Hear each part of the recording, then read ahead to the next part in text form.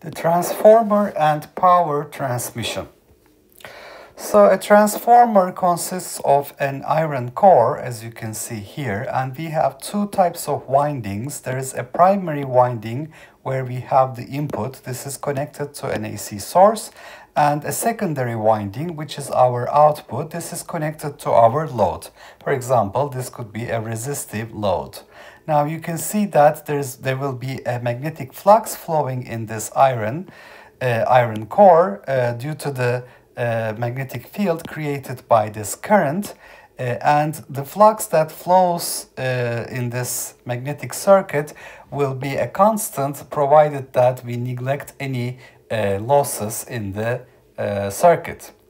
Now, using Faraday's law, uh, delta V1, the voltage that we apply between the terminals of the primary coil, the input, uh, will be equal to minus N1, the number of windings in the primary, d phi b dt, the rate of change of the uh, magnetic flux. And similarly, on the secondary side, we will have, using Faraday's law, delta V2, the potential difference appearing between the uh, terminals of the resistor will be minus N2, the number of windings in the secondary coil, uh, d phi b dt. Since the flux through the two coils is the same, there's a single flux flowing in the circuit, uh, we have delta V1 over N1 equals minus d phi b dt, which is also delta V2 over N2 equals minus d phi b dt. So delta V1 over N1 equals delta V2 over N2, and delta V2 is N2 over N1 delta V1. So if N2 is greater than N1, you can see that delta V2 will be larger than delta V1. This would be called a step-up transformer. If N2 is less than N1, delta V2 would be less. This would be called a step-down transformer.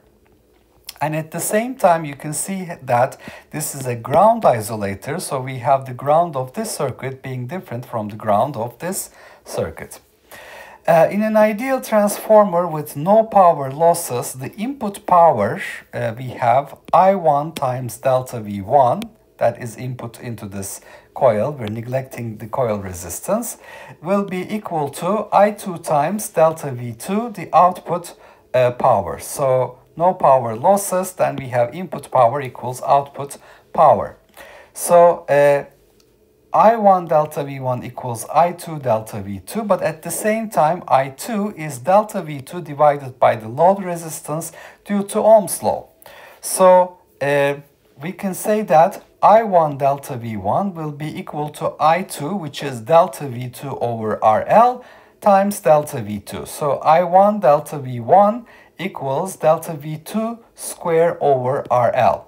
Now, let's say that we have uh, an equivalent resistance seen by this AC source and we call that R equivalent. So delta V, I, instead of I1 we write delta V1 over R equivalent. Delta V1 square over R equivalent is delta V2 square over R2. So R equivalent becomes our, uh, our load, our load times delta V1 over delta V2 square, but delta V1 over delta V2 is N1 over N2, so this would be N1 over N2 squared, parentheses squared.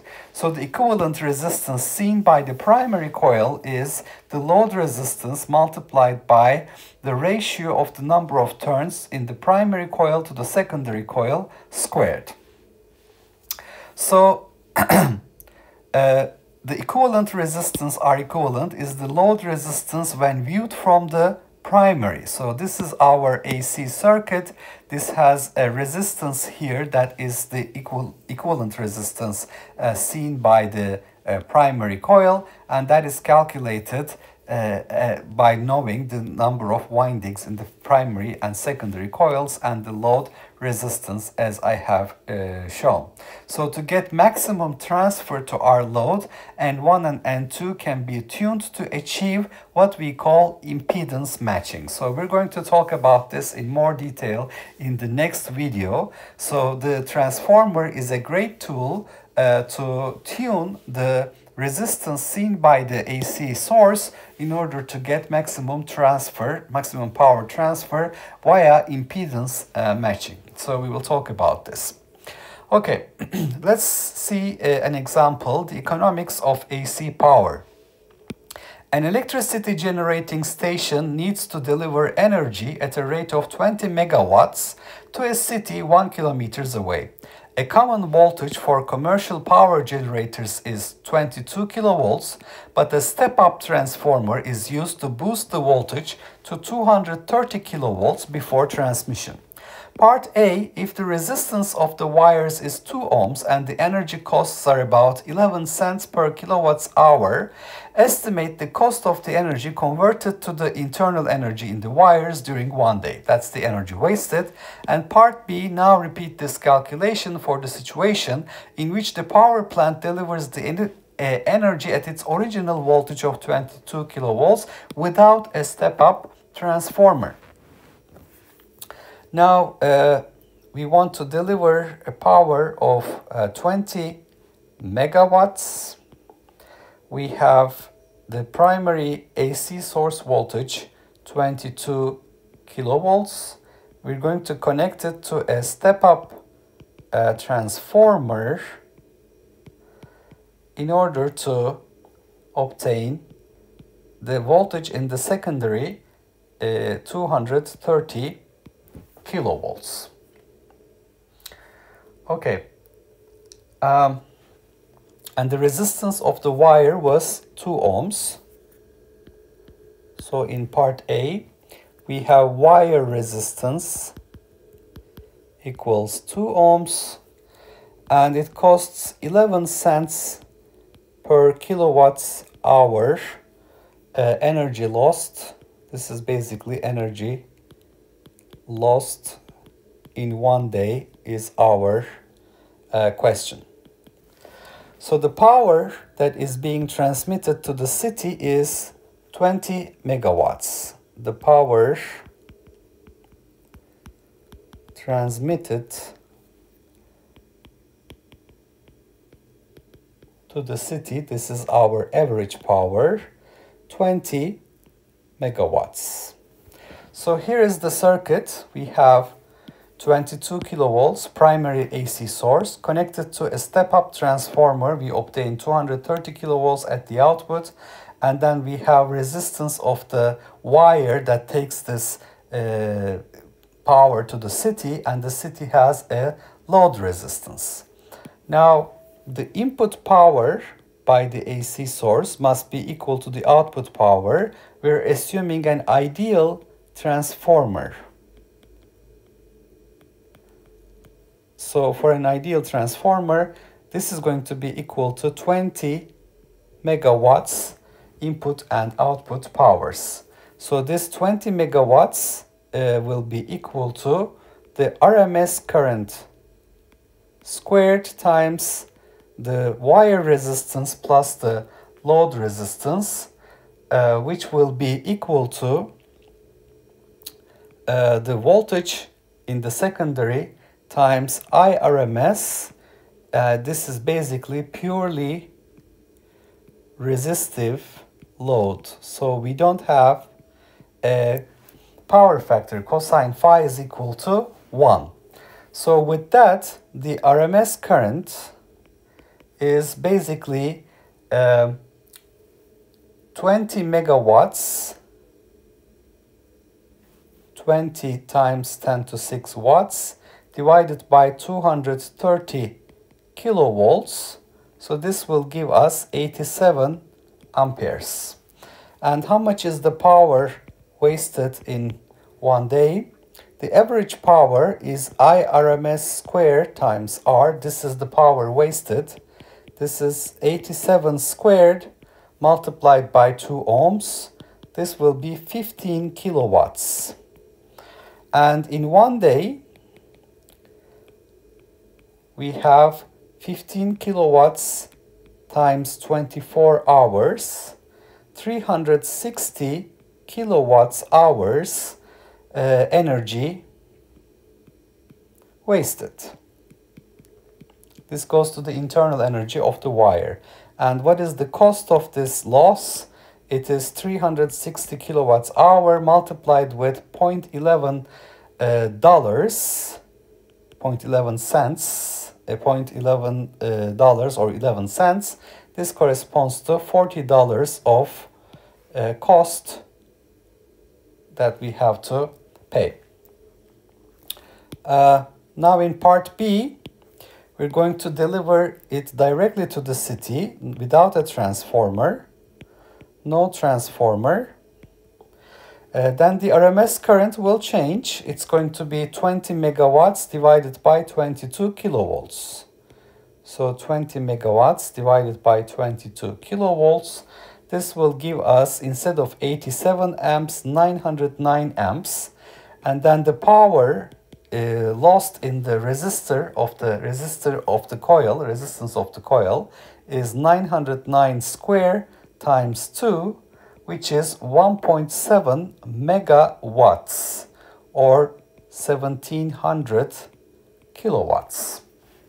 So how much energy do we waste? In one day, we're going to have 1700 kilowatts times 24 hours 4 times 10 to 4 kilowatts hour energy wasted.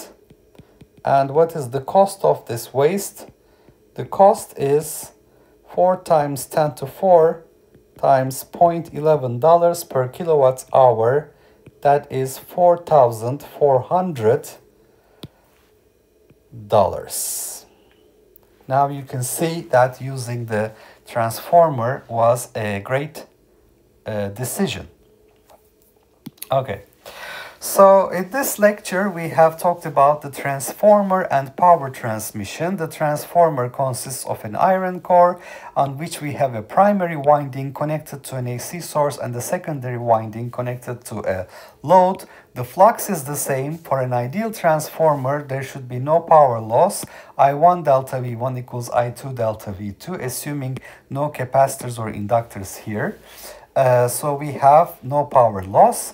And the constant flux also dictates that the ratio of the voltages is determined by the ratio of the number of windings. If you have more windings in the secondary, it's a step-up transformer, less windings in the secondary compared to the primary, we have a step-down transformer. And uh, we can calculate the equivalent resistance seen by the primary, the input side, uh, by considering the uh, power relationship I1 delta V1 equals I2 delta V2 where the current is replaced by voltage divided by resistance and this gives us the equivalent resistance so we can see that by playing with N1 and N2 we can change the value of the equivalent resistance.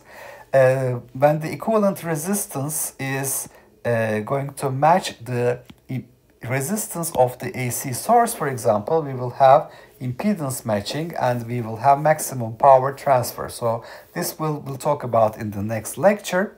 There's a maximum power transfer theorem. Then we talked about the economics of AC power transmission. Uh, in order to deliver energy at a rate of 20 megawatts to a city using an AC source of 22 kilovolts, we introduce a step-up transformer to 200, uh, which steps up the voltage to 230 kilovolts.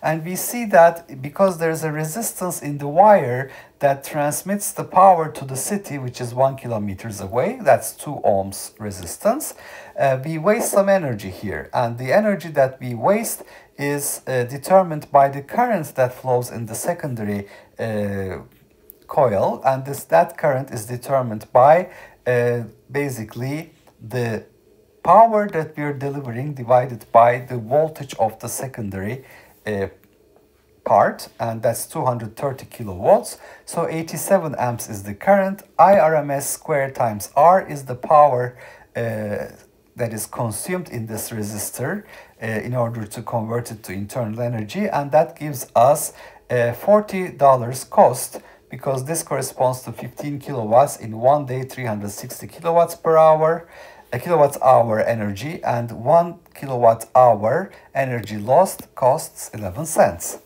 And without this transformer we deliver 20 megawatts to the city using this 22 kilowatts uh, source uh, the current becomes 909 amps now because we don't we didn't step up the voltage.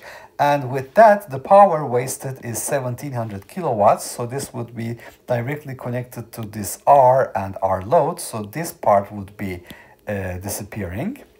And with that we will have in one day 4 times 10 to 4 kilowatts hour energy wasted which corresponds to a cost of 4400 instead of $40 so you can see that it was a great decision to introduce this step-up transformer.